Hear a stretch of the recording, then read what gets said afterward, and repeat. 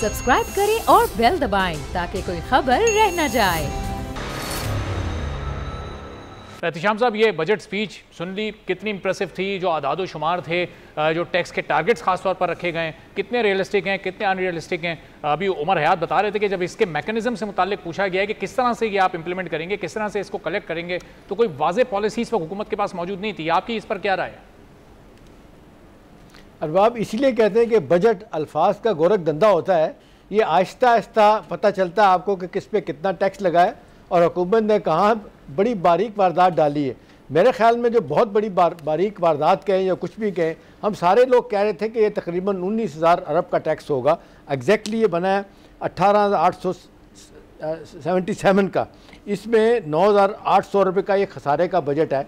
तो इसमें अब जो टैक्स की अपना नए टैक्सों की जो बात कर रहे थे वो आ रहा था चार से पाँच साढ़े तीन से चार ट्रिलियन रुपीज़ की। लेकिन ये जो अब डिटेल्स आई हैं इससे तो चार हज़ार से पाँच हज़ार अरब तक के नए टैक्स लगेंगे और ये डायरेक्ट टैक्सेस हैं। Indirect hmm. टैक्सेस तो लगेंगे वो तो पे हमें समझ आ जाएगी कि हर चीज़ पे टैक्स लगा होगा। तो मेरा ख्याल है ये फॉर द टाइम बिंग तो अभी लोगों को समझ नहीं आएगी कि हुआ क्या है। लेकिन इसके साथ साथ आप देख लें सैलरी क्लास के साथ जो हाथ किया गया है, आप और मैं हम समझ रहे थे कि ये ये मैक्सिमम जो है तनख्वाहदार के लिए इसकी हद छः छः लाख से आठ लाख कर दी जाएगी, उन्होंने नहीं की, उसी पे रखा है। इसी पे मज़ीद टैक्स लगा दिया गया ठीक है? नॉन फाइलर को 45 परसेंट टैक्स मुख्तलिफ़ जगहों पे देना पड़ेगा, लेकिन टैक्स आमदनी जो असूली तौर पे होती है कि आपने कहाँ कहाँ कहाँ कहाँ कट लगाना है और कहाँ कहाँ से पैसा पूरा करना है ये अभी तक आहिस्ता आहिस्ता लोगों को पता चलेगा कि हुकूमत क्या करना चाहती है। मेरे ख्याल में जो ज़्यादा चीज़ें अच्छी कह सकते हैं उनमें ये कह सकते हैं कि जी ये जो फ़ैसला हुआ निजकारी का फ़ैसला हुआ मुझे पर्सनली तो बड़ा ठीक लगा। अब पीपल्स पार्टी के साथ इनकी बड़ी लड़ाई होगी इस हवाले से पी एम एल एन की क्योंकि उन्होंने कहा जी कि ये एक स्ट्रेटेजिक फ़ैसला हो गया है कि ये लॉस मेकिंग हमारे जो अदारे हैं जिसके बारे में कहा जाता है कि बारह हज़ार अरब रुपया ये ना ये बार सॉरी बारह सौ अरब रुपया जो ना सालाना ये इसकी एमरेजिंग हो रही है। बारह सौ की बिजली चोरी, बारह सौ के ये जनाब स्टेट सेक्टर की जो है ना वो हेमरेजिंग हो रही है, इसको हम रोकेंगे।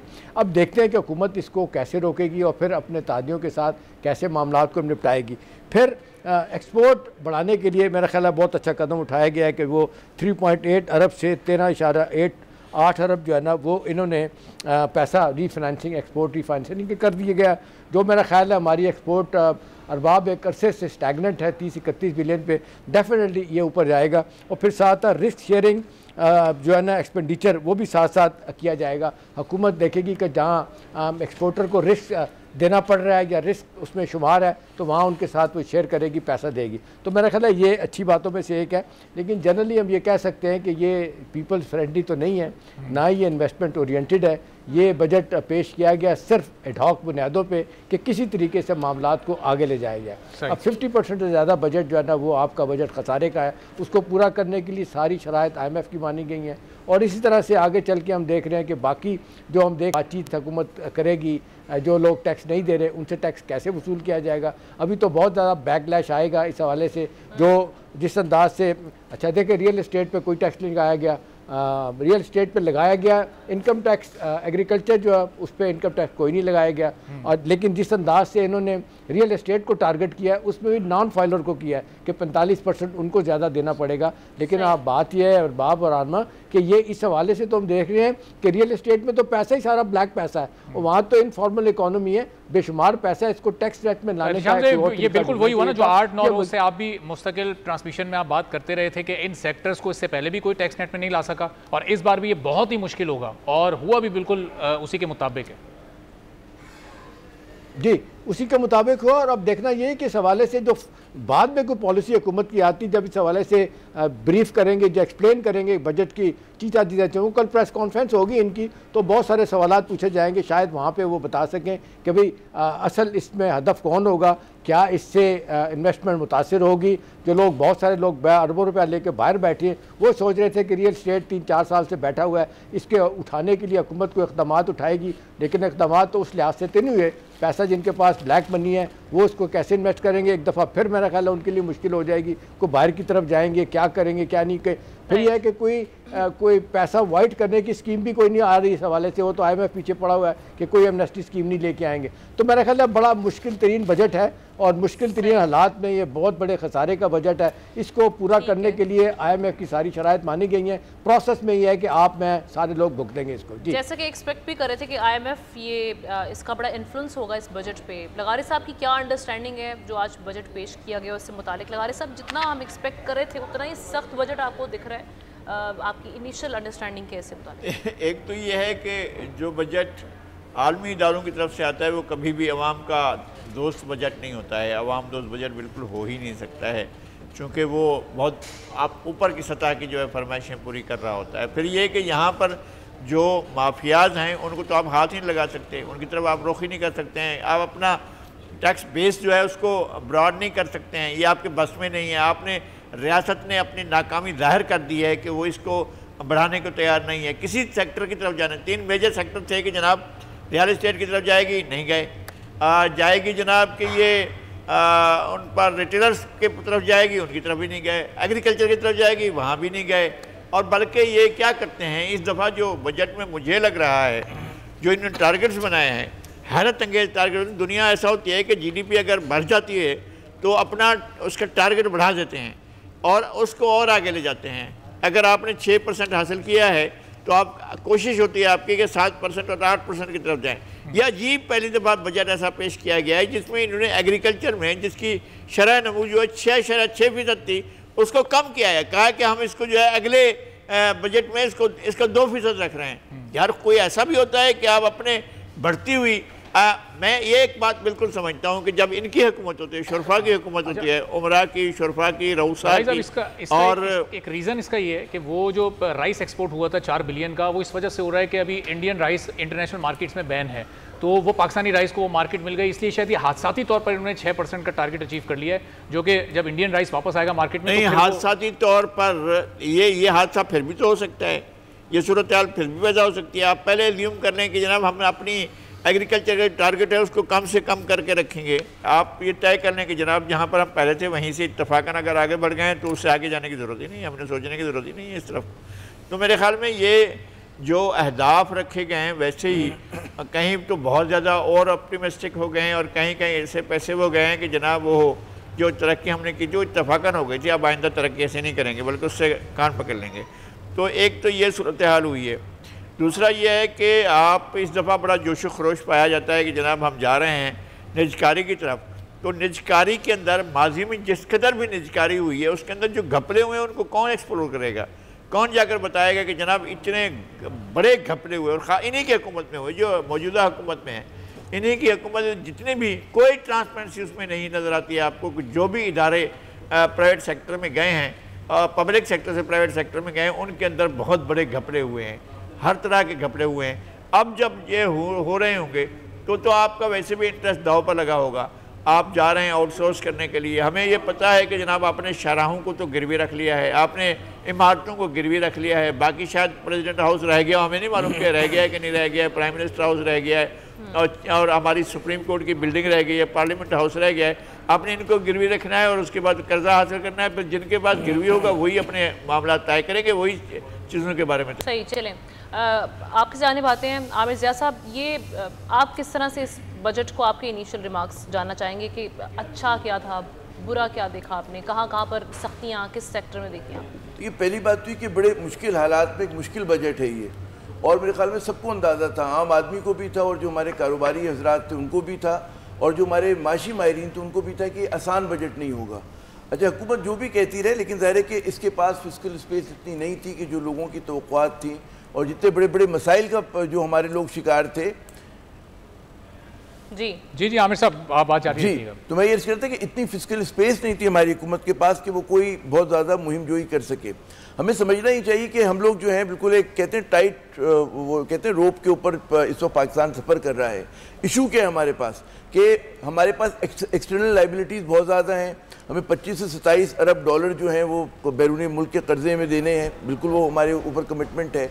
अच्छा अगर आप उसमें, जैसे भी लगाई साहब फरमा रहे थे कि हमारी माशी ग्रोथ में जब हम इजाफा करते हैं तो उसकी वजह से क्या होता है? क्योंकि गाड़ी पुरानी है और उसमें स्ट्रक्चरल फ्लॉज हैं तो उसमें हमारा करंट अकाउंट डेफिसिट बहुत ज़्यादा बढ़ जाता है, जो किसी भी स्टेट बैंक के लिए बड़ी ख़तरनाक सूरत हाल होगी। तो अब करना ये होता है कि जी आपको उसको भी काबू रखना है करंट अकाउंट को भी और अपने कर, और अपने करंट अकाउंट को भी। उसकी वजह से जो हमारे यहाँ एक इतिहास है आप जब भी देखें कि हमारी इकोनॉमिक ग्रोथ जब भी तेज़ होती है उसकी वजह से हमारा करंट अकाउंट डेफिसिट बहुत ज़्यादा बढ़ जाता है। तो ज़ाहिर इसीलिए बहुत इतिहास से चलाना है इस गाड़ी को और ये जो उन्होंने एक मेरे ख्याल में एक नॉमिनल रखा है तीन इशारिया छत्तीस फ़ीसद है जो भी है तो वो एक इस वक्त के हिसाब से मुनासिब है क्योंकि हमारी इकोनॉमी जो है वो अफोर्ड नहीं कर सकती। नौ अरब के आपके पास अगर फॉरन एक्सचेंज वो है अच्छा, जखायर है तो आप आप ज़्यादा इसको रुकना पड़ेगा एनर्जी सेक्टर और गर्दिशी कर्जा एक बड़ा अहम मसला है और इस पर गुफ्तु के लिए अम्मार हबीब साहब जो एनर्जी एक्सपर्ट भी हैं हमारे साथ मौजूद है। अम्मार साहब बहुत शुक्रिया वक्त निकाला अपने प्रोग्राम के लिए। भी जो गर्दिशी कर्जा जिस अंदाज से बढ़ रहा है और पाकिस्तान की इकोनॉमी पर एक बड़ा बोझ बढ़ता जा रहा है इस बजट में जो पावर सेक्टर की तरक्की के लिए जो अमाउंट रखा गया कुछ ढाई अरब के करीब, आपको लगता है ये काफ़ी है? मसले का हल क्या है? चले अम्मार साहब को हम दोबारा रिकनेक्ट करते हैं। जी, आमिर साहब, आप ज़रा अपनी गुफ्तु जारी रखिएगा और ये गर्दिशी कर्जे का कितना अहम किरदार होगा हमारे इस खसारे को बढ़ाने में? देखिए, पहले तो ये जो मैक्रो इकोनॉमी के नंबर्स हैं ना, वो हमें देखने चाहिए कि उस वक्त जो गवर्नमेंट ने क्या क्या किया है। कि आप देखिए कि इस मरतबा हमारा करंट अकाउंट इतना ज़्यादा नहीं रहा जो हमारा आउट गोइंग फ़िज़िकल ईयर है, बमुश्किल 200 मिलियन के करीब है 200 मिलियन डॉलर्स के करीब है। इस मरतबा आप देखें हदफ उन्होंने रखा है करंट अकाउंट डेफिसिट का अराउंड 4.5 बिलियन जो कि काफ़ी सब्सटेंटिव है, लेकिन ये मैनेजेबल है कि अगर इन्होंने अपना एक्सपोर्ट टारगेट को अचीव कर लिया अगले बरस के, और जितना हम लोग रेमिटेंसेस की तो कर रहे हैं, वो अगर हमारे पास आ जाती हैं तो फिर इसका मतलब ये होगा कि पाकिस्तान जो है, बिल्कुल कहते हैं ना कि निकल जाएगा इस मुश्किल सूरत हाल से। हमारे हबीब साहब आ गए जनाब। पहले उनसे गप कर लें उसके बाद फिर जी जी। जी अमार साहब तो ये जो इस वक्त गर्दिशी कर्जा एक हमारी इकोनॉमी पर बोझ बना हुआ है। ज़ाहिर इस बजट पर भी उसके असरात हमें नज़र आए हैं। आने वाले दिनों में भी असरात नज़र आएँगे। इस मसले का हल क्या तजवीज़ करेंगे आप? देखिए गर्दिशी कर्जा जो है उसका तो ऑलरेडी बजट हुआ हुआ है ये अमाउंट मगर जो बजट डॉक्यूमेंट में अगर आप ये बहुत क्रिटिकल चीज़ देखेंगे वो ये है कि जो डिस्ट्रीब्यूशन कंपनीज़ हैं उसकी प्राइवेटाइजेशन की बात की गई है। हम्म। अगर ये प्राइवेटाइज हो जाती हैं ये लॉसेस कम हो जाते हैं तो आगे जाके कम हो जाएगा। तो हम्म। अभी के लिए नहीं हमें आगे के लिए देखना चाहिए कि जो जो रिफॉर्म्स हो रहे हैं रिफॉर्म जब तक वो नहीं होंगे उससे पहले ये गर्दिशी कर्जा खत्म नहीं हो सकता। मगर आगे के लिए कम अज कम सब्सिडी हमने रखी हुई है। सही। और ये जो नॉन डिस्कोज और जिंकोज को प्राइवेटाइज करने की बात की है अब ये कितना लॉन्ग टर्म प्रोसेस हो सकता है? अभी तो ये सिर्फ़ शायद एक थिंकिंग प्रोसेस में है। अभी इतिहादियों को मनाना और अभी हमने देखा बजट से पहले क्या सीन क्रिएट हुआ है? नहीं नहीं काफ़ी फेयरली एडवांस स्टेजेस में है ये चीज़ क्योंकि इस पे काफ़ी काम हो भी चुका है और काफ़ी अरसे से काम हो भी रहा है और ये सबका अंदाज़ा हो गया है इस चीज़ से कि अगर इसको रिफॉर्म नहीं करेंगे तो खसारा बढ़ता ही रहेगा। तो बेहतर यह है कि अभी रिफॉर्म कर लें बजाय इसके के बाद बहुत आगे निकल जाए और कोई भी कोई भी चीज़ काबू में ना आ पाए। और इन रिफॉर्म्स का मतलब ये होगा जो कैपेसिटी चार्जेस हम कोई चवालीस पैंतालीस हज़ार मेगावाट की हम दे रहे हैं पे कर रहे हैं और सर्दियों में हम बारह हज़ार और गर्मियों में हम तीस हज़ार मेगावाट इस्तेमाल कर रहे हैं तो वो उससे हमारी जान छूट जाएगी फिर। बिल्कुल, उससे हमारी बेसिकली अभी नहीं जान छूटेगी, क्योंकि कैपेसिटी चार्जेस एक अलग चीज़ है। वो ये चीज़ है कि जो आपने जो पावर प्लांट लगाए हैं, क्योंकि मुल्क तरक्की करेगा, उसके आगे सप्लाई आएगी तो उससे होगा। मगर इन एफिशिएंसी खत्म होगी सर्कुलर डेफिसिट की, उससे बिजली की कीमत ऑलरेडी कम होगी, जिससे जनरेशन की भी कीमत जो है वो कम हो जाएगी, जिससे ओवरऑल जो है जब टेरिस कम होगा। जब टेरिस कम होगा तो डिमांड ऑटोमेटिकली उसकी बढ़ेगी। तो इस तरह जो है बिल्कुल इसमें फ़ायदा होगा। ठीक है। और ये तमाम आईपीपीस को हमें करना पड़ेगा प्राइवेटाइज या ये जो नौ की तरफ़ अभी एक इनिशिएटिव लिया गया, ये इससे काम चल जाएगा? ये डिस्कोस जो है डिस्ट्रीब्यूशन कंपनीज़ है, इनको तो तमाम कुछ प्राइवेटाइज होंगी इसमें और कुछ जो है लॉन्ग टर्म कंसेशन के थ्रू काम होगा, जिसमें कुछ प्राइवेट कॉन्ट्रैक्टर्स या दूसरी पार्टीज़ को जो है वो लॉन्ग टर्म कंसेशन पे दे दिया जाएगा कि अगर परफॉर्मेंस इंप्रूव होती है तो उसके तहत जो है उनको कंपनसेशन की जाएगी सो ऑन सो फॉर कुछ प्राइवेटाइज होंगी और कुछ जो है मुख्तलिफ़ कॉन्ट्रैक्ट के थ्रू दी जाएँगी आगे। आमिर साहब भी हमारे साथ मौजूद है शामुल हक साहब भी। आमिर साहब इससे रिलेटेड कुछ क्वेश्चन अगर आप रखना चाहें हमारे साथ नहीं एक तो जो बात है कि एक ब्रीफ सा कमेंट है कि 2027 28 तक हमें कैपेसिटी पेमेंट करनी है। और ये जो हमारी माजी की दो हुकूमतें रही हैं, दो तीन हुकूमतें, पीपल्स पार्टी से इस रोमांस का आगाज़ हुआ था आई पी पी इसके और फिर नून लीग ने आकर उसको दूसरी इंतहा पर पहुँचा दिया। तुम लोग स्टक हो गए, मुश्किल में फंसा हुआ है पाकिस्तान। और आपको हर हालत में जो हम लोग साठ, इकसठ रुपये चौंसठ रुपये बिजली की कीमत दे रहे हैं फ़ी यूनिट उसकी बड़ी वजह जो है वो आई पी पीज़ है। यकीनन वो तो हमें देना ही देना है कि हम बिजली इस्तेमाल करें, ना करें, क्योंकि एनर्जी मिक्स का ख्याल नहीं रखा गया। हाँ अब ये है कि अगर आप डिस्ट्रीब्यूशन और वो लॉसेस कम कर देते हैं, चोरी कम कर देते हैं अपनी बिजली के ट्रांसमिशन लॉसेस कम कर देते तो गालिबन एफिशिएंसी बढ़ने से फ़ायदा होगा। और यकीनन ये जो प्राइवेटाइजेशन हमने देखा कि इलेक्ट्रिक प्राइवेटाइज हुई उस पर हमें शिकायतें हैं लेकिन उसकी कारकर्दगी अगर आप ओवरऑल देखें उस जमाने से जब के हुआ करती थी उससे बेहतर हुई है। तो privatisation yes it is a way forward लेकिन हमें समझना चाहिए कि जो मुश्किल में है वो आईपीपी के साथ जो हम लोगों ने गलत माहे किया। आप एक मिसाल देखें ना कि साहिवाल में कोल फायर्ड पावर प्लांट लगाया गया। वहाँ पे मतलब आप इंपोर्टेड कोयला कराची से पता नहीं कहाँ से लेके जाते हैं वहाँ तक। ठीक है, एक आप, एक एग्रीकल्चरल बेल्ट में क्यों लगाया गया था? अब कौन उसके हिसाब करेगा? वो पावर प्लांट बंद पड़ा रहता है और आपको पैसे देने हैं और आप लोगों ने अपना शौक पूरा करके देख लिया। तो जब आप इस तरह के कोता बीनी कहते हैं ना कि शॉर्ट साइटेड आप लोगों ने जब हुकूमतों ने फैसले किए हैं और इस तरह के प्लांट्स लगाए हैं, उसका कौन जवाब दे? और आज वही लोग जो हैं मतलब है कि जिनकी वजह से दर्द हुआ, हम उनसे तो कर रहे हैं। कि वो दर्द दूर करें, अल्लाह करे, ऐसा हो, लेकिन मुझे ज़रा सा, हमेशा से मैं इस मामले में ज़रा सा उसका वसवसों का शिकार हूँ कि हमारी जो डेमोक्रेटिक इलेक्टेड गवर्नमेंट्स होती हैं, पॉलिटिकल फैसले करती हैं। जैसे बजट में उन्होंने पॉलिटिकल फैसला किया कि जी, पार्लियामेंटेरियंस को हम बजट दिया करेंगे। तो वो एक उस तरह का फैसला है कि जो आईएमएफ के एडवाइस के खिलाफ है। हमें पता है कि वो प्लानिंग कमीशन का भी मतलब उसमें कोई अमल दखल नहीं होगा खैर बात कहीं और निकल जाएगी लेकिन हम हमें जरा से इसको पिंच ऑफ़ सॉल्ट के साथ लेना चाहिए। जी जी जी एहतशाम साहब कुछ इस पर कहना चाह रहे थे। एहतशाम साहब आपको भी वही वसवसे हैं जिनका आमिर साहब ने चीज़ बात कर रहा तो आमिर साहब बात कर रहे हैं ये पॉलिसी स्टेटमेंट की हद तक तो फाइनेंस मिनिस्टर ने जो आज बात की है चले अब देखते अमल कितना होता है। अब वो कह रहे हैं जी शिफ्ट करेंगे फोकस हम ये ये थर्मल से हाइडल की तरफ़ जाएँगे और हम विंड और सोलर और इस, की तरफ़ हम जाएँगे, वहाँ हमारा फोकस होगा। लेकिन सवाल ये कि इस वक्त हमारे जो चवालीस के करीब, या चालीस के करीब आई हैं, जिसमें तीस से ज़्यादा जो चाइनीज़ के हैं, जिनसे वायदे इतने खौफनाक और कैपेसिटी पेमेंट वाले किए हुए हैं कि वो तो समझ नहीं आती कि वो कुछ लोग कहते हैं पैंतीस रुपये पर यूनिट, कुछ कहते हैं चालीस से चवालीस पर यूनिट है, और कई मादे तो हमसे और आपसे छुपे हुए हैं। और वो चाइनीज़ कहते हैं, किसी को मत बताएँ, जिस पे आई एम भी खफा होता है कि हमें बताएँ कि किस टैरफ पे आपने वायदे किए हुए हैं। मेरा ख्याल है ये बिगेस्ट होल है जो हम रोज़ कहते हैं एनर्जी सेक्टर का। इसके लिए कोई पॉलिसी नहीं बनाई गई। कोई इस हवाले से मैं देख रहा था तकरीर में कि वो बताएँगे कि क्या पॉलिसी हवाले से एक्शन होंगे। कोई नहीं बताया जा रहा। वही गड़सी कर्जा जो 2600 अरब का, बिजली का और तकरीबन 1900 अरब का, ये आपका गैस का है, ये पाँच ट्रिलियन से ज़्यादा का है। यो इसको कैसे करेंगे? देखें, ये जिनको को भी, इनको जनरेशन कंपनी को भी इन्हें निचकारी की तरफ़ ले जाना होगा और डिस्ट्रीब्यूशन कंपनी को भी। और वापडा का भी सोचना पड़ेगा कि इसका हमने क्या करना है। देखिए यही माफिया है ना आई वाले क्या है? वो थर्मल लॉबी वो इनको हटने नहीं देती कि आइडल की तरफ़ जाएँ। आज भी आप देख लें कि, वो कहते इतना पोटेंशियल है, चालीस फ़ीसद पानी आपका दराव से चला जाता है समंदर में और कोई बंद बांधे नहीं जा सकते। मुझे याद आता है बार बार बात होती है कि बयासी में तिरासी में 83 में बाबडा ने 425 साइट आइडेंटिफाई की थी। जहाँ पे 10 से 100 मेगावाट तक के छोटे छोटे लग सकते हैं। अपना क्या बिजली के यूनिट। लेकिन नहीं लगाए गए इसलिए कि थर्मल जो है ना उनकी लॉबी थी। पैसा खिलाया जाता था, खाया जाता था। आप ये पीपल्स पार्टी के दौर में हम, हमने देखा किस तरीके से हुआ। शायद हसन खान एक साहब थे, वो चले गए, हमारे भी दोस्त थे, जरदारी साहब से बड़ी दोस्ती थी उनकी। वही ये सारा कुछ लेके आए थे। नवाज़ साहब ने जब वायदे किए थे, उन्होंने भी डेफिनेटली वहाँ पे भी कहा जाता है, खांचे लगे थे, सब कुछ हुआ था। इनके ज़माने में बहुत ज़्यादा हुआ। फिर जो पीटीआई के दौर में लगे, वहाँ पर भी यही कुछ हुआ। पीटीआई के दौर में एक अच्छी बात हुई थी कि इनसे रिविजिट किए गए थे माहे और तय किया गया था कि 600 से 800 रुपया वो कह रहे थे वापस करेंगे कि पैसेंजर चार्जेस ख़त्म करेंगे। लेकिन वो सिर्फ़ माहे एम तक रहे ट्रांसलेट नहीं हुए हार्ड एग्रीमेंट में। तो मेरा ख्याल है इसका तो ये जब तक एनर्जी सेक्टर का ये कोई पोलिटिकल डिसीज़न नहीं लेते मेरा ख्याल है ये बात तो नहीं बनेगी। तो कैसे खत्म करना है? अब तो चाइनीज़ भी है वो नहीं करने देंगे। तो कोई मेरा ख्याल है ज़्यादा है मैंने जी जो इससे ज़्यादा मेरा ख्याल है आमिर साहब और लगारी साहब आप भी बात करें इसमें। वो ये कि मुझे लगता है कि ये धोखा दिया गया जो हमें अदाब पेश किए गए हैं।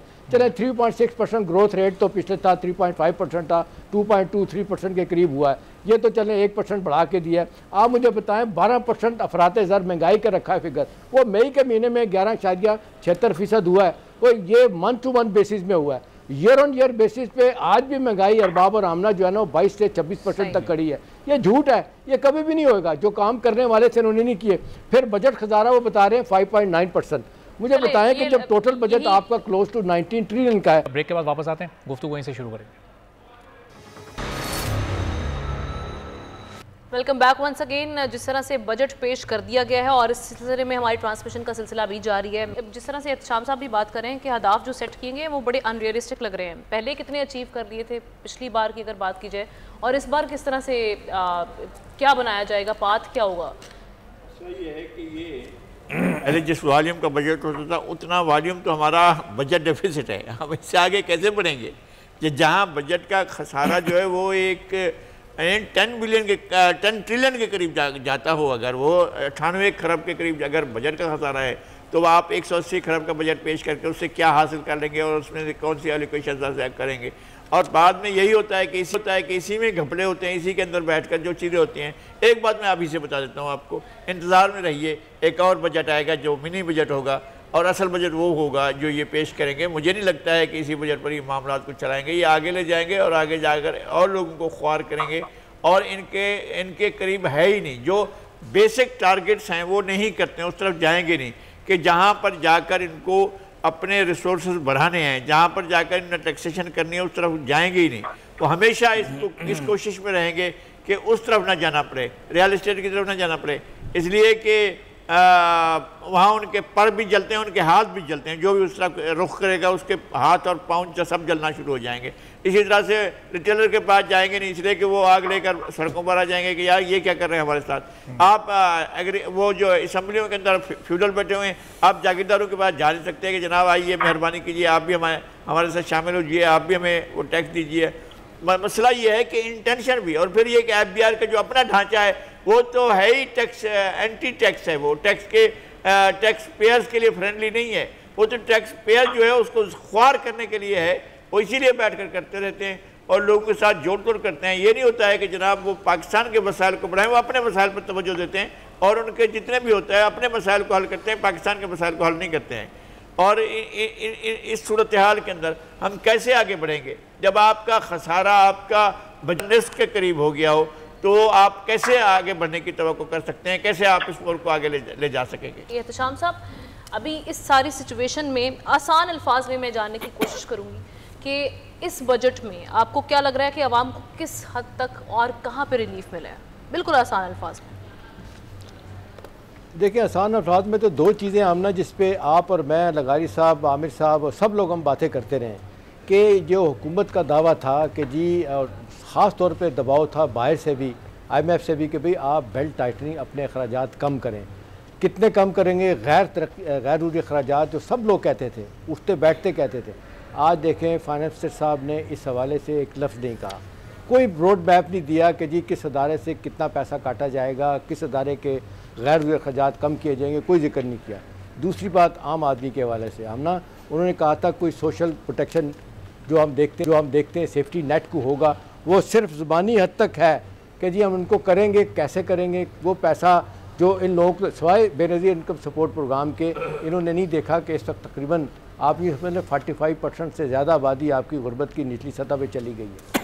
ये वनरेबल तबके जो थे, इनको बचाने के लिए क्या किया आपने? सवाए इसके कि जी आप ये कह दें कि जी बत्तीस से, मेरा ख्याल पैंतीस, बत्तीस हज़ार से पैंतीस हज़ार उन्होंने तनख्वाह कर दिया मिनिमम अदरवाइज़ आप देख लें आपके लिए मेरी लिए तनख्वाह गवर्नमेंट के लोगों के लिए चले ठीक है उन्होंने तनख्वाह बढ़ा दी है एक से सोलह के लिए बढ़ा दी है। बीस परसेंट और पच्चीस परसेंट और बीस परसेंट सत्रह से बाईस की बढ़ा दी। लेकिन बेशुमार लोग हैं जो खाली गवर्नमेंट में तो टोटल आते हैं तेरह चौदह लाख हैं हम्म। जिसमें सात आठ लाख फौज है बाकी मुलाजमी सरकारी हैं। वो बाकी लोगों के लिए क्या है?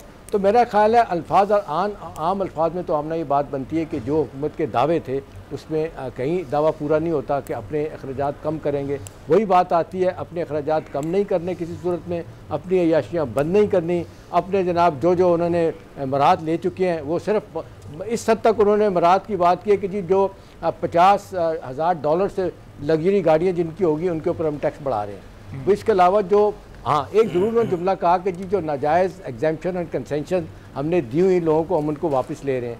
वो कहाँ से वापस ले रहे हैं? कितनी वापस ले रहे हैं कौन कौन से सेक्टर में उसको आइडेंटिफाई नहीं किया गया। हो सकता है कल अपनी पोस्ट बजट प्रेस कॉन्फ्रेंस में इस हवाले से बात बताएँ कि वो क्या करने जा रहे हैं। तो जनरली तो मुझे कोई सदमन लानी सिवाय इसके कि आमना ये खसारे का बजट है टफस्ट बजट है पाकिस्तान की तारीख का। आप सॉल्व बैक करने की कुछ भी नहीं है। आईएमएफ की कड़ी शराइ हैं वो पूरी नहीं होंगी तो बात नहीं बनेगी। ऊपर से जो हमें उम्मीदें थी चाइना से यूएई से कतर से सऊदी अरब से वो भी अभी तक दे रहे हैं। इन्वेस्टमेंट की बातें तो अभी तक हुई हैं लेकिन वो पंद्रह बिलियन डॉलर की इन्वेस्टमेंट लाइन अप तो की हुई है। वो कब मटेलाइज होगी सऊदी अरब की? दस बिलियन की कतर वालों ने की हुई है। वो कब मटेलाइज होगी? इस तरह यू वालों की है। मेरा ख्याल है अब देखने वाली बात है कि जो इन्होंने एक जुमला कहा था जो बाज़ार बड़ा अच्छा है कि इंजन ऑफ़ ग्रोथ आमना वो कहते हैं प्राइवेट सेक्टर है। हमने private government is broke government कारोबार नहीं करेगी प्राइवेट सेक्टर को हम आगे लेके जा रहे हैं। भाई प्राइवेट सेक्टर को आगे लेके जा रहे हैं तो प्राइवेट सेक्टर क्या करेगा? इंडस्ट्री जो 60 परसेंट आपको टैक्स देती है इंडस्ट्री आपने उसके लिए क्या किया है? कोई गैस कमी हो रही है का रेट टैरिफ कम हो रहा है? कोई उसकी बिजली कमी हो रही है? नहीं हो रही। तो मेरा नहीं ख्याल कि ये कोई इंसेंटिव दिए गए हैं कि इन्वेस्टमेंट को प्रमोट किया जाए। लोकल इन्वेस्टमेंट को प्रमोट करने के बाद उसको देख के फ़ॉरन इन्वेस्टर भी पाकिस्तान में आएगा। तो मुझे नहीं लगता मुझे लगता है कि इन्होंने एडोकज़म अपनाया और जल्दी जल्दी चीज़ें तय की गई हैं। पाकिस्तान की तारीख में शायद पहली मरतबा हो कि सात को बजट फिर दस को फिर बारह को फिर चाइना का विज़िट चाइना की अपने अदाफ हैं उनके अपने मुतालबात हैं आई एम एफ़ के अपने ठीक है हैं साहब ये जो तारीखी बजट तारीखी खसारे का बजट इस वक्त एहतशाम साहब इसको कह रहे हैं। इस खसारे को कम करने के लिए आपको रेवेन्यू जनरेट करना है टैक्सेशन का निज़ाम आपको दुरुस्त करना है। इस बजट में तो कहीं कोई ऐसा इकदाम या कोई इंटेंशन नहीं दिखाई दी गई कि टैक्स नेट को बढ़ाने की बात की गई हाँ। जिन पर पहले से ऑलरेडी टैक्स था जो टैक्स पेयर थे उन्हीं पर रेट को बढ़ाने की बात की जा रही है। ये जो 9,600 बिलियन का डेफिसिट इन्होंने टारगेट रखा है ना ये इन्होंने उसके बावजूद रखा है कि आप अपना रेवेन्यू जो है वो बारह हज़ार बारह अशारिया नौ ट्रिलियन रुपीस तक लेके जा रहे हैं। यानी कि चालीस फ़ीसद इजाफा करने के बावजूद हमारा ये खसारा है। एडिशनल टैक्सेस भी हैं कोई साढ़े एक सौ पचास जी जी पंद्रह सौ अरब के जो है एडिशनल टैक्सेस भी हैं। बात ये है अगर जो मैं कहूँगा कि दरिया को कूजे में बंद किया शाम साहब ने आपको इस बजट में कोई नया ख्याल नज़र नहीं आया। आपको कोई नया विजन नज़र नहीं आया। आपने मतलब है कि ज़ाहिर है कि हमें पता था कि आईएमएफ की हिदायत के मुताबिक ये जो है बनना है प्रोग्राम ये बजट जो आना है। लेकिन इतना भी हमें तो नहीं थी कि सिर्फ़ कट एंड पेस्ट होगा। जब भी लोग अजरा मज़ाक कह रहे थे कि जनाब हो सकता है क्या ये बजट जो है इस बार क्यू ब्लॉक में नहीं बना बल्कि कहीं और बना किसी दूसरे मुल्क में बना। तो ये ये चीज़ जो है सोचने की है कि जनाब एक तो उसमें नया ख्याल नहीं है। फिर अगर हम अगर मौका है अगर बात करने का तो आप ये देखें जो इन्होंने बात की कि जो अल्ले तल्ले हुकूमत के आप सिम्बॉलिक कम करते हैं। आप कहते हैं जी मुल्क मुश्किल में है हम आवाम का गला घोट कर उनसे टैक्स वसूल कर रहे हैं। हम बिजनेसमैन कारोबार कारोबारी हजरात से ले रहे हैं सबसे ले रहे हैं तो हमारे ये हुक्मरान क्या कर रहे हैं? तो ठीक है, है। ये ये आमिर साहब इस डिस्कशन को हम आगे बढ़ाएँगे। एक ब्रेक का हमें कहा जा रहा है। लगारी साहब को मैं शुक्रिया अदा करूँगी। ब्रेक लेते हैं बाकी गेस्ट हमारे साथ मौजूद है। ट्रांसमिशन का सिलसिला जारी है। सब्सक्राइब करें और बेल दबाएँ ताकि कोई खबर रह न जाए।